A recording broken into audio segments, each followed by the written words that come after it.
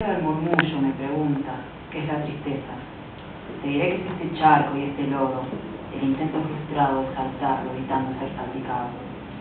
Fisura del tiempo, desacelerado cambio de carril, con brazos caídos y pies embarrados, sometido a dos pasos cortos y largos pensamientos sostenidamente inconclusos, como este poema que no alcanzaré nunca a concluir. Con ella y con estas líneas llega también una necesidad de abrazo solitario, de cálidas caricias de lágrima de un llanto ahogado, de vapor de taza de café, de un cigarrillo consumiendo ese labios.